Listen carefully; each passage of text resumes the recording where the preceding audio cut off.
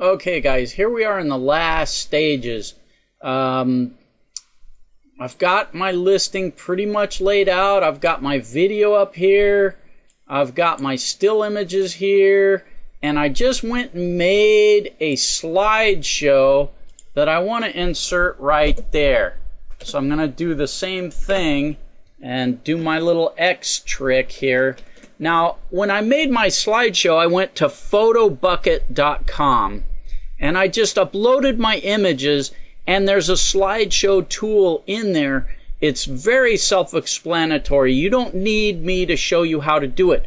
But once you complete it and save that slideshow, you'll have another piece of HTML that you're going to have to paste into your eBay ad the same way we did for this video. So I want to put my slideshow right in there and I've got my HTML copied to my clipboard the same way I showed you for the video. So now I just want to click over here, come down to the bottom and go back to HTML, do the same thing and find the X's and just back those out. And then all I need to do is right click and paste that embed code and now I'm going to go back and my Photobucket slideshow, even though you can't see it, it's there. See these little dots?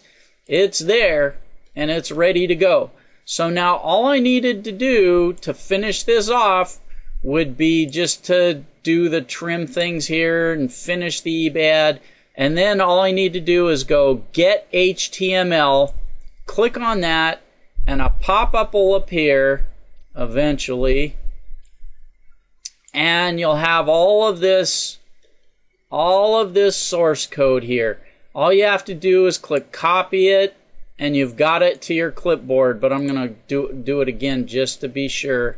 And then all I need to do is go into eBay, into my listings. Here's my listing, the Skull of King Human, and uh, item specific original reproduction let's put original blah blah blah. Um, you can add your pictures here but here's the here's the uh, the uh, description maker their their HTML editor. Now all I need to do is switch from the standard to the HTML right click and hit paste then I go back to the standard view and you will see it's ready to go. My eBay listing is here. It's ready to go. So all I need to do now is finish making my listing and uh, we'll see how this goes. Okay, here we go. I've just clicked on my eBay ad. Here you can see it. Hammy, Skull of you're King gonna be Human, all right. rare and unique. They Here's say the you're video. refusing your skin grafts. It's running. Yeah. I'm gonna shut it off. And uh, here we go. Here's the here's the embedded images. Here's the slideshow from PhotoBucket that I added. And uh, you can see this can be a really effective tool. Like I say, there's a bunch of these templates for these slideshows at PhotoBucket. Go check them out. And uh, you can embed that code the same way you did for the video.